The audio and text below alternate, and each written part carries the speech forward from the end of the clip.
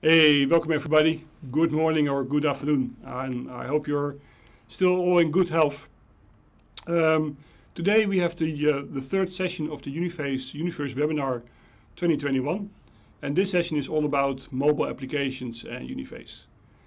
Uh, this uh, session uh, will contain a demo uh, of by Jason Huggins. I think you know him all quite well. And uh, Jason will, will tell in his very um, humoristic way how to build a uh, Uniface mobile application. After that, um, a Greek customer of Uniface, Hellenic Zeus, uh, will explain uh, how they built their mobile application with Uniface in a very rapid way and successfully deployed them for their customers. So I think all in all a very interesting program uh, for all of us to watch and, and learn from. And of course, when you have questions or uh, remarks, please use the, the chat lines. They are open uh, right now, and the Uniface team is uh, waiting to, uh, to answer them as we speak. So please go ahead, enjoy the, the sessions and the presentations, and uh, see, you, uh, see you soon. Bye-bye. Thank you, Tom. My name is Jason Huggins, and today we're going to look at how to package your Uniface applications ready for deployment on a mobile device.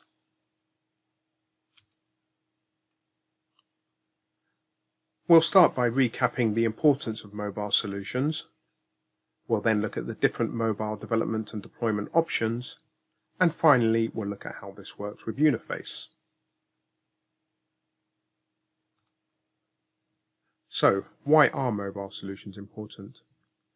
These continue to play an important role across everybody's lives, whether it's just for social interaction or interacting with business critical solutions we continue to see an increase in demand for mobile solutions. For solutions we typically use, such as desktop solutions or web solutions, it's not uncommon to now expect there's also a mobile equivalent. For this reason, it is important to think about and continue delivering mobile solutions to meet the needs of your users. So, what are the options for mobile development? Well, there are three main categories. The first is to build a web solution and deliver that through a mobile browser. This has the advantage of using standard technologies such as HTML, JavaScript and CSS to allow you to quickly build a solution.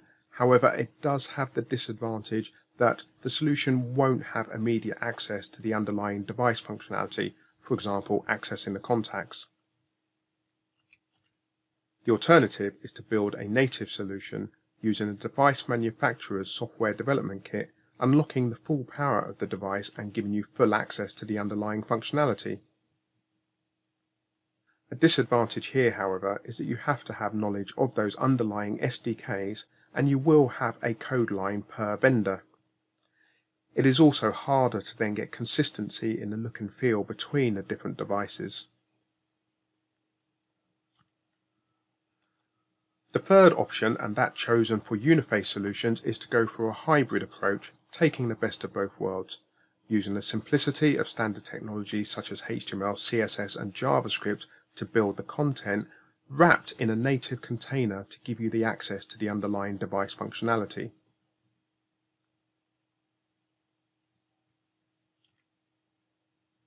So what does this look like in Uniface terms? Well, I start by building my DSP solution and utilize responsive techniques so that the pages will display correctly on a mobile device. I package that using a hybrid framework of which there are many to choose from. This results in a package that I can deploy to my mobile device directly or via one of the app stores.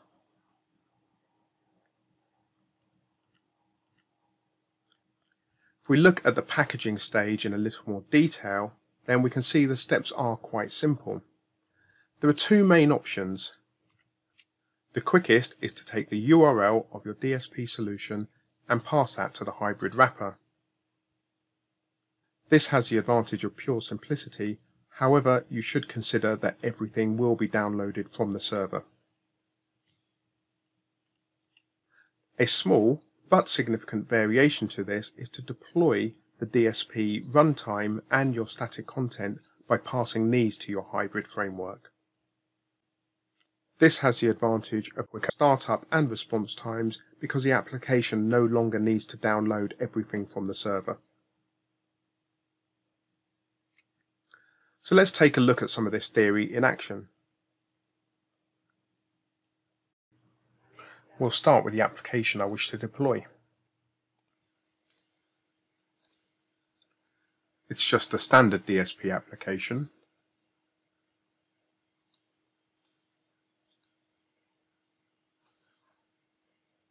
And when I run it, we see this page. I can log in and I see my application.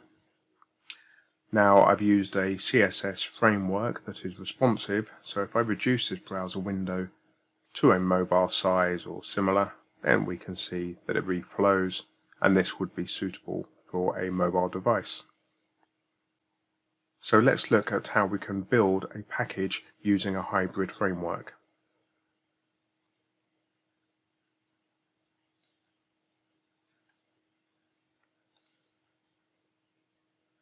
In this case I'm going to use Cordova.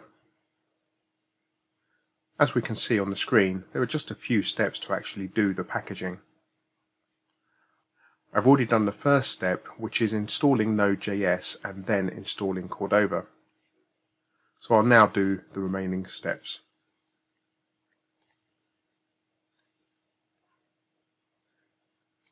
I've got my folder here, which is my development area for Cordova, which is already installed. So I will start by creating the Cordova project.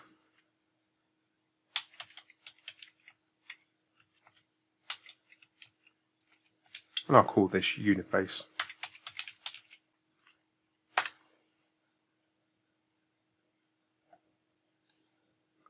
We take a look in this folder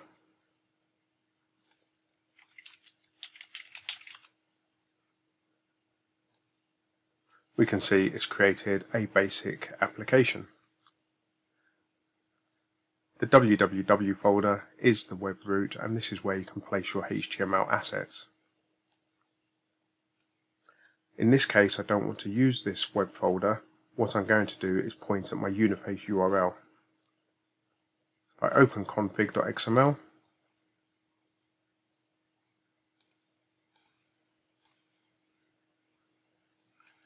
we can see in config.xml we've got a basic configuration. Now something I'm going to need to add, and I'll explain this shortly, is this section. I copy my URL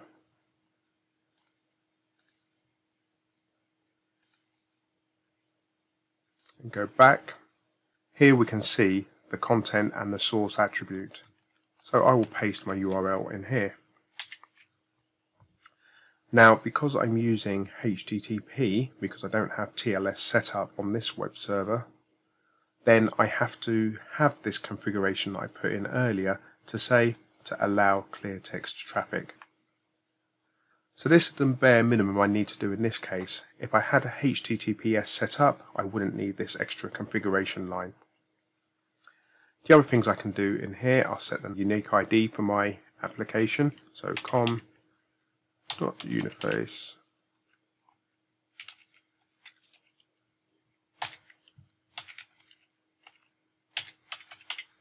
So that's just a unique name. Give it a label, uniface IoT. And I could then fill in things like the description, the author information, the website, and, and so on. I'll just keep it as simple as this for now. So if I save this, and if we go back to look at what the instructions say, so I've moved to that folder and what I need to do is add the platform. In this case it's showing the browser as the platform, however I'm going to use Android. So I go to the folder and from the command line I say Cordova platform add Android.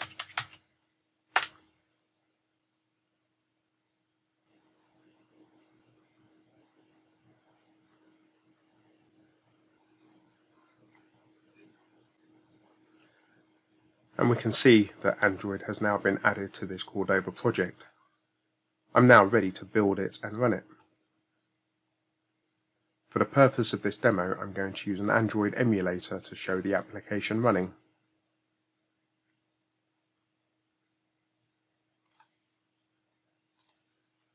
So I type Cordova,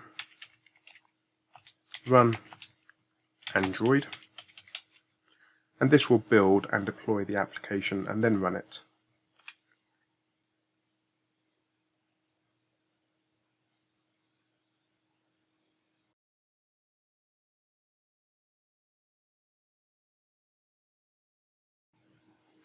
So the build has now completed and it's been deployed to my device and so we should see it start.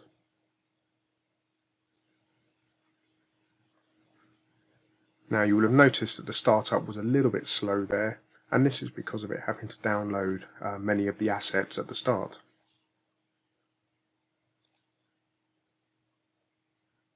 I can log in and we can see that the application will behave as expected.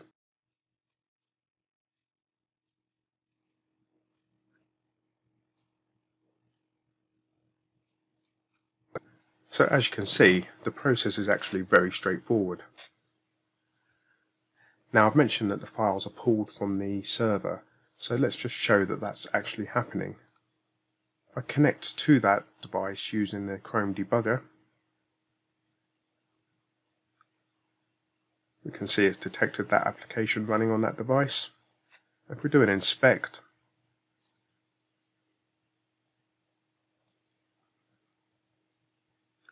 When we look at the Sources tab, we can see that everything has indeed been pulled from the server. So now let's look at the steps we can take to actually make all of that static content local and the Uniface DSP runtime.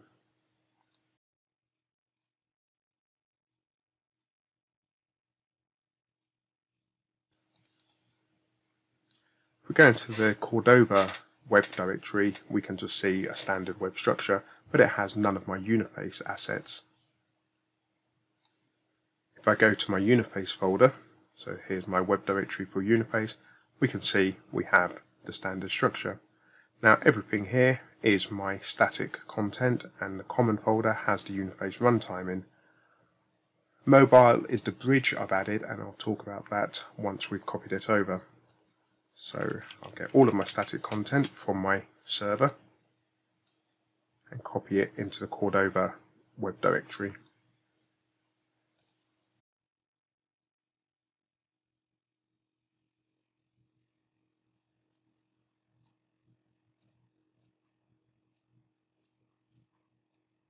Okay, so those files have all copied over. And the functionality we're going to be making use of is a DSP view functionality. It allows you to place a div on your HTML page and load a view of the DSP into that. Go into the mobile folder. We can see I've created an index page and I have this umob.js which has my functionality for loading that view. So if I open both of these,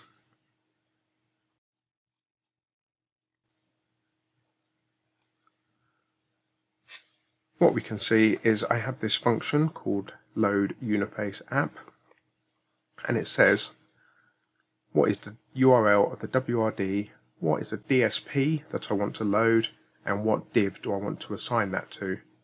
So then there's just some functionality here. So on the Uniface runtime, the Uniface API, set the WRD URL, create an instance of my DSP, calling my operation mob exec, and I'll show you that shortly.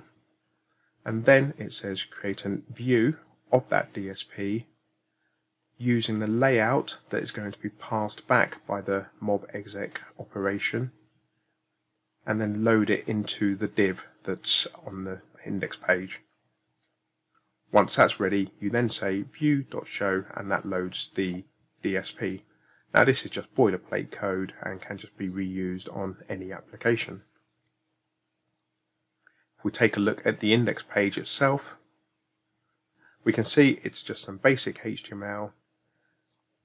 It includes Uniface runtime, so uniface.js and the basic DSP CSS. I have an on-device ready event which says when the device is ready, call load Uniface app, which was the function we just saw in the umobjs file. We can see the path to the WRD, the DSP I want to load, and the div I want to place the view in. Come back over here, we can see in the main body, there's my div, and this is where the view of that DSP will be displayed. Finally, I have the standard Cordova JavaScript, which allows the interaction with the underlying device APIs. The final change I need to make is pointing the config at this file. So if I go back to the Cordova project root, got my config.xml, I edit that, and I change this path, which is relative to the www path, to mobile slash index dot html. If I save that,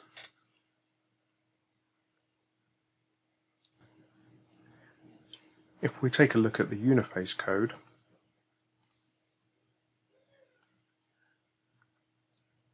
if we look at mob exec, we can see it's very similar to the standard exec I have in this component.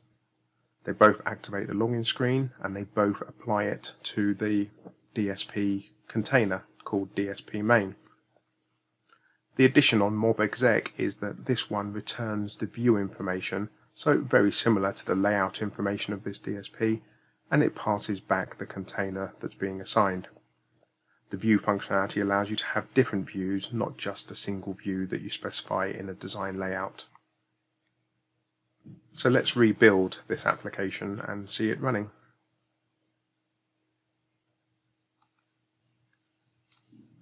If I go back to my command line, I can say Cordova run Android and this will implicitly rebuild and redeploy the application to my emulator.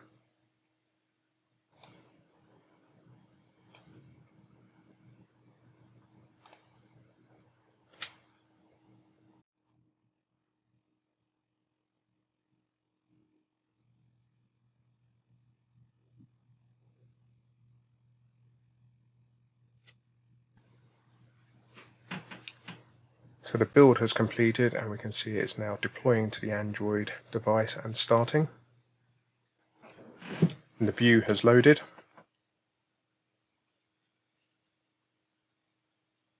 I can log into the application.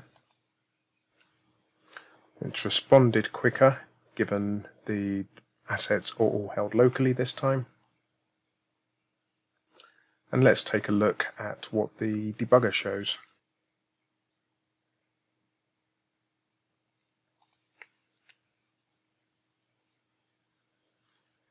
And we can see this time that all of the assets are being pulled from the local device. So it's less network traffic and a quicker response. The final thing I'll show is the use of the device APIs, because after all, that was the whole point of using hybrid instead of just a plain HTML application.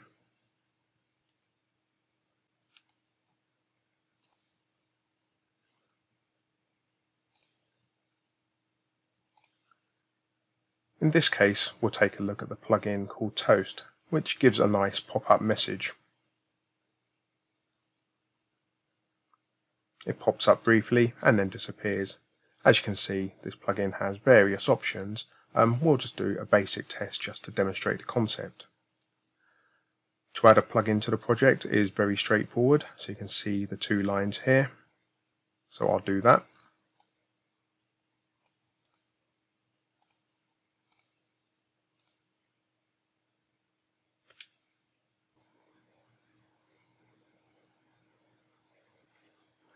Okay, we can see that the plugin has been installed.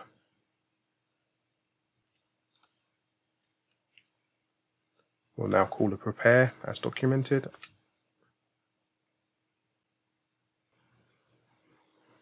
And that completes. If we go back to the documentation for the plugin,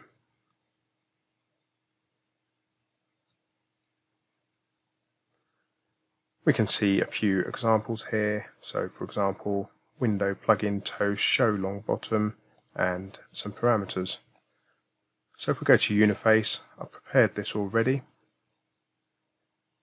I go to my login screen. We can see I've added a web operation called toast message and here we can see I'm calling the same thing window.plugin.toast show long bottom and with some text and I've got a call to that in my exec so web activate dollar instance name toast message welcome to the IoT app so if I recompile that,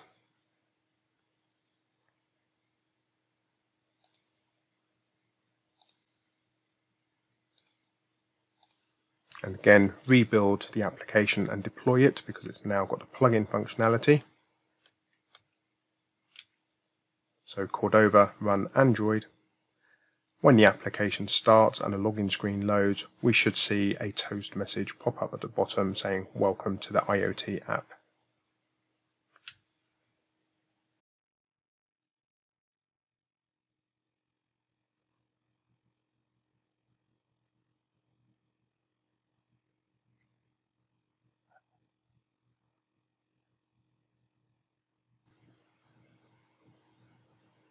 So the application is now being deployed to the mobile device.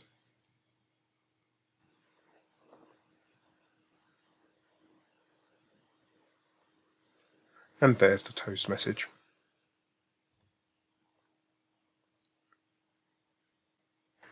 So as you can see, building the packages is actually very straightforward and we can see them running perfectly on the Android emulator. When you're ready to deploy onto a real device or deploy to the app stores, then you can go to your Cordova directory. I go back to the root. We can see the platforms. So whether it was Android, iOS, you'll see a platform folder. If I go into here, go into app, build, outputs, APK, this is where my built object will be. At the moment we're in development mode, so it's in debug mode. So if I go into this folder, there we can see our debuggable APK. If I was in release mode, then there'll be a release folder with the release version.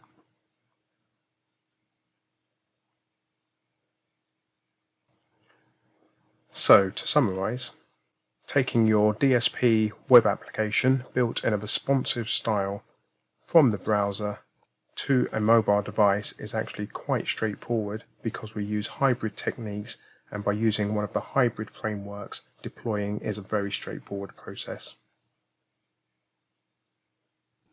Thank you for listening. Thanks, Jason. That was very uh, interesting, and also, yeah, always the way you present is uh, very uh, inspiring for uh, for all of us. Um, so now we know how to uh, develop and deploy uh, mobile applications with Uniface. Let's see how this works in practice. So we have uh, invited uh, a Greek customer of Uniface, Hellenic Zeus. Um, and Hellenic Zeus built a mobile application with Uniface over the last year. And actually it's already in production. And from what we've heard, it's very successful. So we look very much forward about uh, your experiences and uh, how you built your mobile application with Uniface. So please go ahead. I'd like to welcome Hellenic Zeus, um, so Thomas from Hellenic Zeus, who's going to talk about their mobile development um, in their business. Um, so I'll start by letting Thomas introduce himself. Hello, my name is Thomas Balkis. I'm the solution architect in Hellenic Zeus uh, group. Uh, Hellenic Zeus is a company that uh, owns about six hotels, and it's a DMC company based in Crete. And the latest eight years, we are uh, working only with uh, Uniface. Okay. So you're in the um, like travel and leisure industry. Um, what would you say differentiates you from your competitors? Uh, first of all, in uh, in Greek market, there are not a lot of uh, there are not a lot of uh, mobile application uh, focused on the, the, travel industry. Actually, the main applications are not from Greece. They are from uh, different uh, places. We have from Germany and mostly from England the last year, there are a lot of uh, companies here in Greece that are creating uh, software solutions for the travel industry and for uh, the hotels. But in most cases, they are only covering part of the part of the business and not the whole business. Our solution can cover the whole business. Um, it covers the PMS, the POS systems of a hotel, and the last three years we have created a lot of mobile applications in order to cover the maintenance, uh, to have a rich application in order the customers to communicate with the hotel. And the last two years, of course, we have some COVID functionality uh, in order the customers to avoid to make a check-in in the reception and all and some other applications uh, that keep the people safe due to the COVID restrictions. Yeah, makes sense. Um, and what would you say are the main challenges your industry has and particularly with COVID these days? Uh, first of all, our industry is the is the first industry that uh, in the e-commerce uh, many many years ago. Uh, so I think that the tourism industry is always a pioneer uh, at the mobile applications and so on. Uh, people used to buy tourism services through the inter uh, with uh, through the internet many many years before. So all the things that we have to create must be kind of innovated because the people in this industry is very uh, is very demanding of new technology and new things. Uh, the things with uh, COVID was uh, to automate some functions like how a person in the restaurant could order without having papers how a person could uh, make a fast check-in through in the hotel in order to avoid to be with many many people in the reception things like this. I will say that we were uh, rather ready before covid arrived so these things uh, was very easy for us to develop and of course to adapt them in, uh, into our applications Excellent. So you'd say that in your IT strategy, you have to be very responsive to change and would say in your strategy itself, you've actually predicted a lot of things and made sure you can do rapid development. Yes, we make a lot of R&D in order to see the trends of the next years. Because when we go in the big uh, tourism exhibitions, especially in Berlin and in London, uh, there is uh, a place in the in this exhibition that uh, they are presenting the new trends for the next decade or the next uh, five years. So uh, the mobile development and and the, and the, as it is at the moment was being discussed about 10 years before. I remember that in the ITB London there was a very big discussion uh, a company that make a uh, that make a, a, a paper uh, that what they were describing how a customer could open his room without having an actual key, but using the mobile phone. This was happening 10 years before. The technology wasn't there, but the idea was there. So in this industry, there are always very innovative uh, um, discussions before the technology that can cover uh, is there, but it will be in the future. So uh, we always have to search the new technologies, and we always have to be ready to adapt them. Excellent. So it sounds like um, you do a lot, you have a lot of new challenges, a lot of future things to do, and you've got to react quickly. I mean, do you have a large development team? Uh, actually, we don't have a very big development team. We are five uh, persons. Uh, I will say that all of them are uh, full stack Uniface developers and one of them is uh, specialized in the mobile application development. Yeah, excellent. So, um, as a developer, um, what challenges do you face, and well, how does Uniface help? Actually, now in the tourism industry, everything is connected. Uh, you have a lot of you have to communicate with a lot of suppliers, customers, uh, external services. Uh, uh, so you must have actually a platform that can very, very uh, uh, in that you can write a few a few rows of code and to have a connection with a new customer with a web service via the internet. Also, it must be extensible in order not to rewrite the whole code. And I'm going to give you an example. Uh, we have a software that uh, handles the transfer from the people that are arriving in the airport. And uh, the last year, we imagine that it's better to be connected with an, uh, with a service that can give us exactly the time that the air, that the airplane is uh, touching uh, touching down to the airport in order to rearrange the transfer schedule if we if if uh, if we need. This was happening by hand uh, and not automatically. And at the moment, uh, every five minutes, the systems ask the web service if this uh, if this airplane has already arrived, and if it's arrived, it checks the time and make the appropriate rearrangements in the buses in order to fit all the customers because may, probably most of them are coming uh, with three different airplanes, but they are touching at the same time at the, at the airport. Uh, this is amazing. The only thing we had to do is just to open the Uniface code, put the web service on top, and then write a few words of code and rearrange uh, the whole process. It's not so easy as I described it, but more or less, uh, Uniface makes our life uh, very, very easier.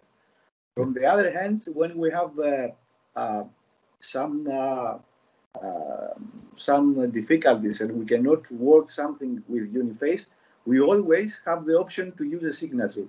I can tell you that we have some cases that we are using Python because Python uh, can, can uh, communicate better with some web service that we have. And we have write them down with Python. But with, with the signature, actually Python becomes member of our application. So we can uh, uh, the most uh, the most the biggest challenge that we have But now it's the communication between different systems and different technologies. And I think in that case, uh, Uniface is, is uh, doing that uh, very well. Yeah, excellent. So you've got multiple systems, but the integration layer of Uniface and the URB just makes that simple, and then bringing it to the mobile is straightforward for you. Yes, yeah. Because uh, for our mobile applications, we are using web services. Actually, the Uniface is the backend that all the information is coming and it's been uh, being placed in Uniface. And through web services, uh, we have uh, uh, we are working on our mobile applications. I can tell you that in our mobile application, chat mechanism is working with. And when someone write down a message in the in the mobile application. At the same time, the message appear with asynchronous interrupt in our desktop application in the reception. So Uniface give us the ability to have it as our uh, main back office system, and at, uh, and we can put a lot of other technologies, mobile technology, um, as we are speaking at the moment, that can work with uh, web services. Also, we have adapted some other technologies. We have adapted the, the business reporting we have uh, adapted uh, Power BI into our desktop applications. Uh, web service is the future. And if you have an application that can call them very simply and very easy, then you gain a lot of time. Excellent. Um, I think you said, yeah, Unif- you've been with Uniface now or Uniface customer for eight years. Um, why did you choose Uniface in the first place? And how did you find the journey of becoming proficient in Uniface? We started Uniface eight years before. Someone here, someone here in Greece was working with Uniface. I think he must be the only one he was working with Uniface. And he and we were searching uh, for the next day for Hellenic Zeus group. Uh, we decided to create our own applications and not to buy from the from the market because every time we need a lot of changes. The business will start to, to change rapidly day by day. So we need to create a platform that with very low resources to create uh, um, as much as business flow in our applications. So we decided we start to show different applications. I was working with Microsoft for the last 12 years, and uh, I was working in a company that uh, was trying to create a platform in order to create rapidly software. When I saw when I see Uni, when I saw Uniface, uh, I was very enthusiastic because uh, with few things you can create application. We create our first desktop application for the DMC office in about six months. And from the other hand, the language itself, it's very straightforward and very easy to learn. It has very clear things, parameters, variables. When you are describing a language, you said that, okay, there must be some of the parameters, there must be some of the variables, and somehow there must be a cursor, a cursor to uh, the retrieve, the store, and everything. These things are very easy in Uniface, so it's very easy for someone who has a minimum uh, application developer background to start using it uh, immediately. Yep. Okay. And this was really exciting for us eight yeah. years before. Excellent. And yeah, so over the eight years, I mean, we often see it's very quick to build that first application. Um, how have you found the ongoing maintenance of the application um, over those eight years? Uh, if you if you have created your models, uh, um, if you create the proper models from the beginning, and if you keep some baselines, then the maintenance it's uh, it's very easy. Actually, with Uniface, the agility it's something that you can do it very very easily. Uh, because if you have uh, good uh, good models for example if you have a good semantic a good semantic model if you have the product it doesn't matter if the product has two columns or three columns at the beginning. Uh, then you can easily put a new column put a new detail uh, entity and so the maintenance in the uniface is very easily it's very easy if you have created a good and robust model from the beginning. Yeah. Uh, this is something that I think that everybody nowadays in the software industry can understand the semantic uh, um, the semantic model, and of course, in in each application there is an entity or table or whatever with the name customer and the name product. So I think that Uniface makes our life easier uh, to maintain big applications in a small uh, period of time. Excellent. So looking specifically at your mobile application now in the industry there's three main ways so whether it's a web application deployed on the web uh, deployed on the mobile i should say um, a hybrid application which tends to be one of the standard ways of doing it with uniface or using apis um, you can then do a native app calling into uniface via web services um, whether that's REST or SOAP or whatever other mechanisms. And I know that you've gone through that journey. Um, so can you talk about the differences and your experiences between using hybrid and native with the API calls into Uniface? Of course. Uh, first of all, we start with uh, we start with uh, web applications, and now in our uh, in our company we have uh, a lot of uh, web applications because uh, we want the users to go in our intranet or in the extranet and uh, make some serious job with using the web application. And we start with the hybrid uh, mobile application. Um, our first application was about excursions, and we start with, um, the Cordova application made by Uniface. Uh, it wasn't so high demand. It wasn't a high demanding application so it was very easy for us to take our existing web application, put a web view for the Android and the web 2K for iOS, and we have created our first uh, mobile application. Uh, we didn't, uh, we decided not to use the buildozer at the beginning. So the compilation is being made by us uh, through um, a Mac that we had for the, for the iOS and uh, with, with, the Android Studio for the for the for the Android. Uh, we see, but we saw that for B2 B2B application, it's more than enough because you don't care about the station, things. The user can log in, make some searches, make some inputs, uh, press uh, probably export the PDF or something in the in the in the device, and everything goes easy. Uh, when in 2018 the company decided to adopt a new concept in the hotel with the name uh, Cook's Club, and they were talking about RFID bracelets, and the customer could go with his mobile application and use it in the POS as a wallet and things like this. That we want a chat on the mobile application and want sophisticated things like this to read uh, to read the passport directly from the mobile app or to, to make payments to the mobile app.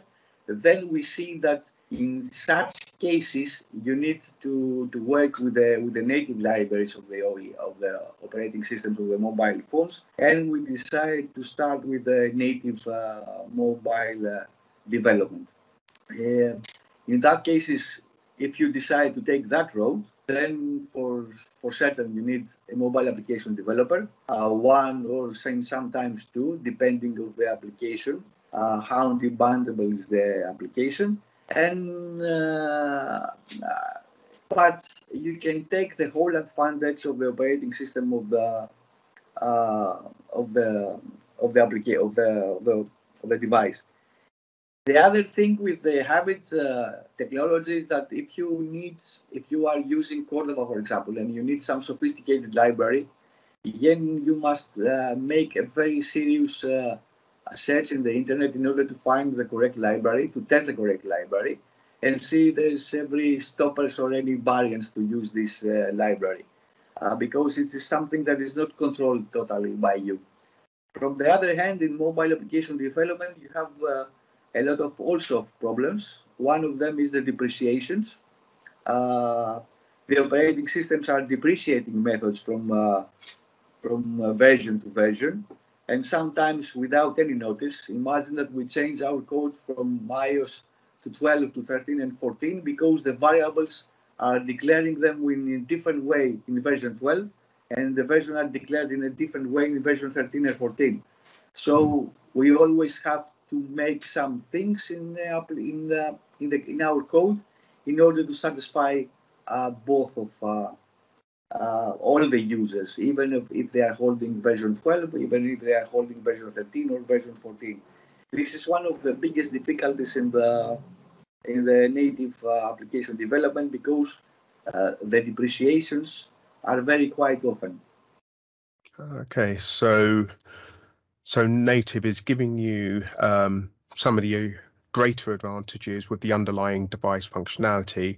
However, you then get the challenges of multiple code lines and mm-hmm. uh, things changing because of new releases. Um, so there are just the pros and cons, and it becomes very um, uh, business specific of a particular requirement may determine whether you go native and then use Uniface as your mobile backend as a service, or whether you go for hybrid and then just have that one code line. Exactly. In, in, in, in both cases, we were working with the same code on Uniface because we were working with uh, our, our uh, web applications are working with web are, are using the web service of Uniface. We created as a as a standalone front end, and we are calling the Uniface as a backend. So actually, you use the same web the same web services when we went to the native application development. And this is very, very interesting because it was actually the same code. Uh, the only thing that we put more is that we create, uh, we make some changes in our web services in order to have the communication through Firebase. Because we are using Firebase, Google Firebase, as a notification uh, as a notification system for the mobile application. Another thing that was very difficult to, to do it in hybrid was the notification because uh, actually when you're using the hybrid technology, we have somehow to handle the session. Uh, session cannot be live forever. Uh, and this is something that you cannot create notification in mobile application with hybrid technology, but with native technology, with native application develop, mobile application development, you can have uh, notifications because you are using the singleton method. So always the session is always it's always alive. So someone can take the notifications even if the application is running in the background. Uh, this is something that makes uh, uh, that is going to help you to take a decision. Uh, so actually, the decision it's a it's uh, something about what you are expecting from your application. Yeah. Uh, if you have an application that is for B2B and the only thing is that some users to go inside and and see some things or enter some things, then the hybrid technology, it's more than enough. But if you need some things like notifications and so on, then for sure, for sure you have to go you have to go native. But of course, at the end, native is more expensive. You need uh, developers that they knew how to work with Xcode and of course with Android Studio. You must have the equipment because you cannot work with uh, iOS without having Mac devices. Uh, it's not it's not possible, and uh, of course you have to follow always the the new releases and the changes are by uh, are being made through iOS and uh, with uh, with Android Studio because they are always make changes. Sometimes they are depreciating uh, the method, sometimes they are introducing new methods, and if you want really, really to take advantage of the power of the mobile device, then you have to to follow the technology and uh, to read a lot.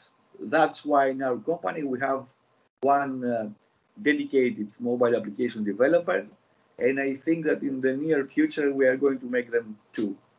Uh, that makes from the beginning this this path make it from the beginning more expensive than the hybrid. Yeah. Okay, that makes sense. Um, so um, I understand that you also have some um, uh, well, very neat functionality in your application, such as the offline usage and Elasticsearch using NoSQL databases. Can you talk about that? Uh, yeah, we start. Uh, we have created an application. Uh, we have created not an application. We create uh, a hub in order to for someone to go and buy hotels. These uh, things are being connected with various reservation systems from some big uh, customers that we have. and these customers have always demanding to get the result for 400 or 300 hotels from one single search that they are making for Crete, for Rhodes, or whatever, get all the results in once in less than two or three seconds. That means that with uh, the traditional RDBMS techniques, this is something that is not possible. So we decide to search and to see what is the what is what is the NoSQL database uh, that fits better around our needs, and it's going to be uh, very easily connected with Uniface. Uh, we make our search and we find out that we are that we find out Arango. ArangoDB, all all the things we you want to do with ArangoDB, you can do it with uh, HTTP RESTful calls. So we adapt the database. We create our own framework with Uniface, with HTTP RESTful calls, and now uh, we have uh, ArangoDB as an RDBMS for this uh, for this kind of application. Actually, from the desktop from the desktop application we are loading hotels and prices in ArangoDB. And when we get a booking from our ArangoDB, it's been downloaded to our mainframe, uh, to our legacy reservation uh, system. Uh, this is something I, I tell it before. With Uniface, you can adapt a variety of the of technologies because of the JSON of the struct that Uniface has inside and the and the web services that you can write down very quickly uh, a web service. And because of the signatures, actually we can uh, you can uh, uh adapt various technologies with Uniface. Imagine what with Arango we have uh, two different paths. One the one path was to, to use the web services, and the second path is was to, to use uh, the native libraries that ArangoDB has with Python because we can call Python through Uniface. So uh, we're having more than one options to be connected with the NoSQL database. Um, now we have created another hub for extensions. So I think all of our selling products, uh, all of them will be at NoSQL technology in the cloud, because in, in that way and in, in a way that you are writing the web services with microservices techniques, you can have uh, very easily vertical and horizontal scaling. And this is very important because when you have uh, more than 200 hits per second, and uh, the ArangoDB now it's on the Amazon, uh, it's on the Amazon. Uh, we are getting a better tire, so we have more computing power, and we can uh, increase our we can decrease our response time. imagine that there is schemas that you can put around ArangoDB that the same query could respond in one second, two second, or three seconds, depending the the machines that you have uh, installed behind the ArangoDB. So I think this is the the future. I think that every everything will go in the next uh, decade to NoSQL databases. Yeah. So uh, that's good. So is your solution um, all um, deployed in the cloud, or do customers have it on premise? And do you have plans for using containerization and microservices in the future? At the, moment, at the moment, some of all the new systems that we are creating, we are uh, we are putting them we are put them in the cloud. Uh, we are uh, convinced for the containerization technology and uh, and for the micro and with the microservices because we have to split our legacy systems in small pieces uh, because it's not easy for us to to maintain them and load the new features uh, and load the new version in the web. At the moment, we must go uh, straightforward to the containerization and to the microservices because we have zero downtime applications.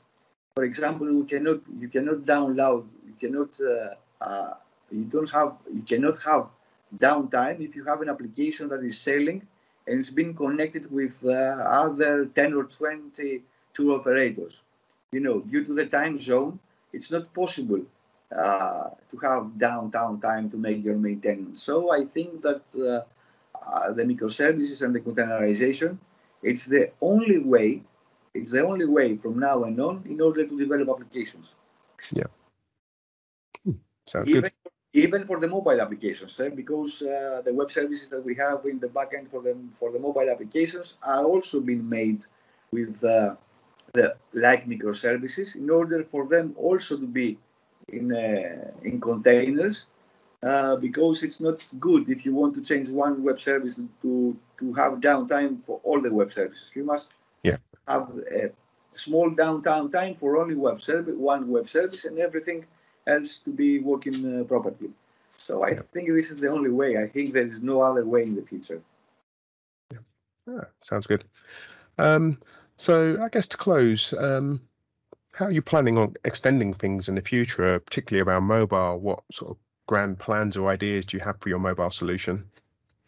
Uh, at the moment, we are trying to create a library. We have uh, in our mobile application for the hotels, we had a library to recognize the passport and the ID cards in order to make the check-in more efficient and more automatically.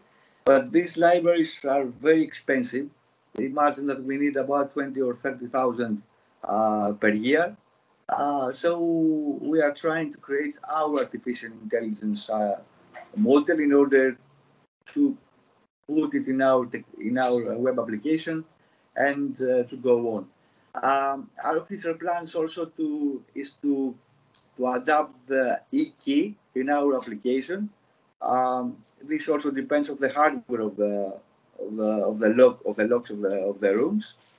And uh, I see pretty good ideas in the market, uh, which at the present moment we are speaking, we have put them under microscope and examine them how we are going to adapt them in our in our hotels.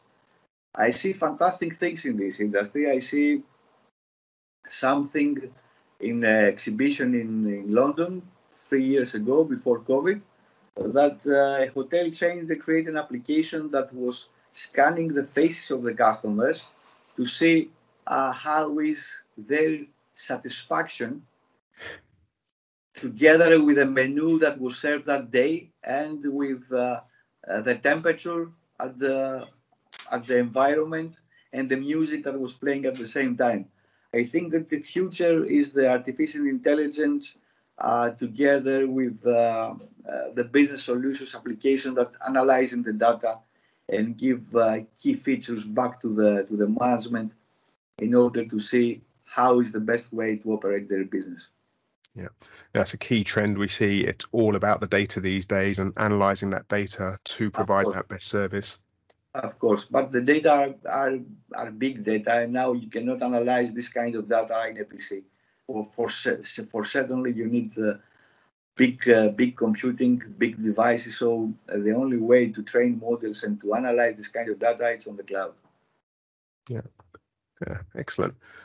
Well, um, I've learned a lot about your solution and the journey you've taken, and it's good to see the pros and cons of your choices, and also, yeah, some of the exciting stuff you've got planned for your future. So, yeah, from Uniface, I would just say like to say thank you for your um, time, Thomas, and the information you provided. You're welcome. It was very interesting also for me. Yeah. Excellent. Thank you very much. Okay. Thank you, uh, Hellenic and also thank you, uh, Jason, for your very interesting uh, presentations about uh, building Uniface mobile applications. Uh, I see there's a lot of uh, things going on still at the at the chats lines. The lines are still open, so if you have questions, please share them. And there are still a few discussions going on about incoming remarks and and questions. So that's that's very good. keep on keep on doing that. Um, like I already said, this was our third uh, session of the uh, Uniface Universe webinar 2021, and uh, we're entering the, the summertime, and I think most of us are going on, on holiday, so uh, enjoy the, uh, the holiday season and uh, stay healthy. And we look forward to, to see you again in another line of sessions after the summer holidays. You will be yeah, notified via our email systems and so keep watching your inbox for uh, follow up about uh, other uh, very interesting Uniface topics. Again, join the summer holiday and see you soon. Bye bye.